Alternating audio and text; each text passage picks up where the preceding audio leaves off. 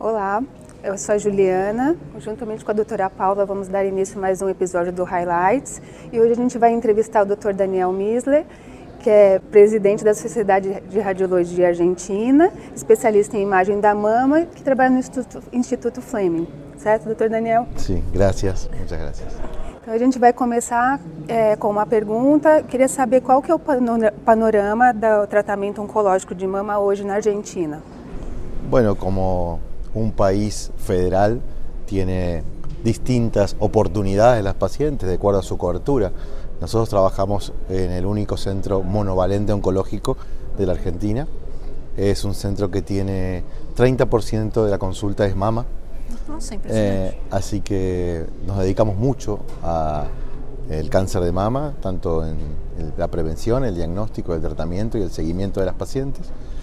Y lo que estamos haciendo ya hace muchos años es eh, mucha neoadjuvancia en aquellos pacientes que lo necesitan con muy buenas tasas de respuesta. Perfeito. Doutor Daniel, já que você falou de neoadjuvância, como que você encara a axila hoje num cenário de neoadjuvância?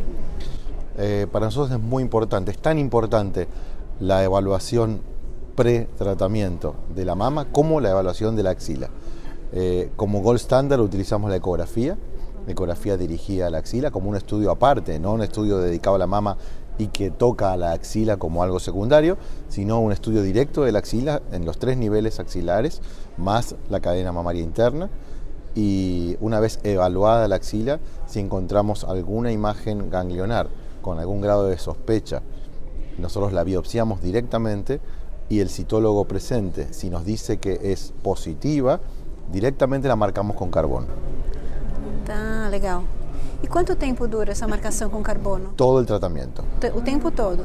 Dos seis meses.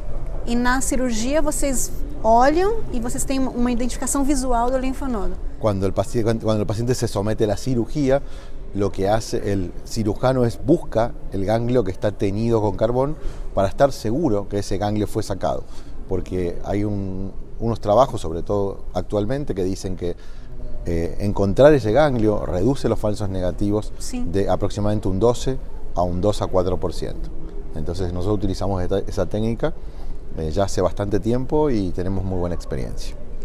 E vocês não fazem nenhuma outra marcação pré-operatória do linfonodo específico, só, só o sentinela e procura o marcador marcado com carbono? Sim, exatamente. Legal, muito bom.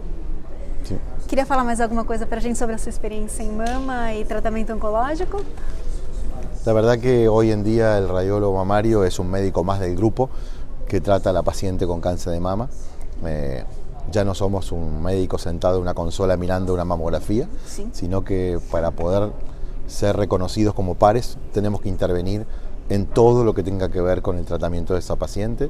Tenemos que ir a los comités interdisciplinarios, presentar a nosotros nuestras dudas, hacer correlaciones radiopatológicas con el radiólogo, con el patólogo y con el ginecólogo y con el oncólogo.